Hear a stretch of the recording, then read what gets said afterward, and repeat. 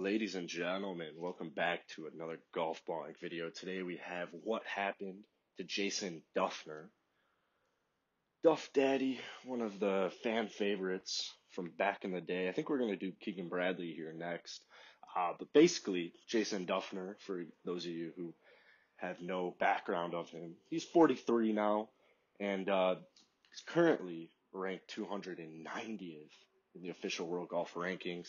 So we all know his great year in 2013, where he was pretty much at the top of the golf world.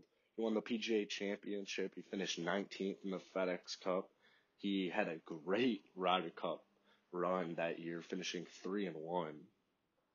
It ended up taking him about three more years to catch that next win uh, at the CareerBuilder in 2016. He still had a good year, finished 19th in the FedEx Cup. 17 was not as good, uh, but he still ended up winning the Memorial, and he ended up finishing 30th in the FedEx Cup, so still not too bad. Here's where we see the sharp decline. Now, Jason battled various injuries, specifically to the neck, uh, but it seemed like he was pretty much fully healthy for the last two or three years, especially uh, that he's been on. He said, I think it was in 2014 or 13 where he got hurt, said he wasn't going to play till fully healthy. Jay Duff's pretty fully healthy, so 2018 comes, ends up playing 22 events, gets cut at eight of them, not horrible, two top tens, but comes in 100th in the playoffs.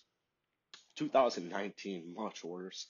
Here's the very, very sharp decline uh, from year to year.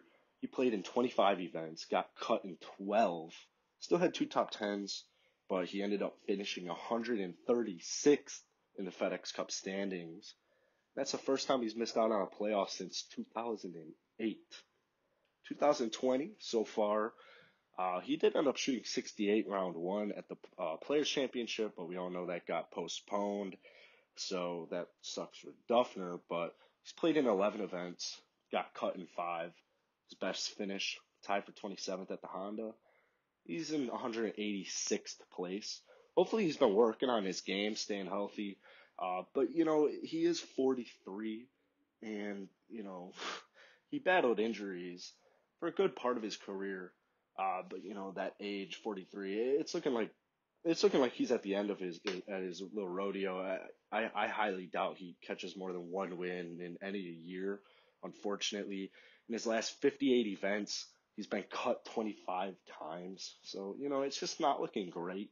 I hope he really pulls it around. Let me know what you guys think. Duff Daddy will finish in uh, 2020. Let me know what video you guys want next. I'm thinking Keegan Bradley. As always, subscribe, like, and comment.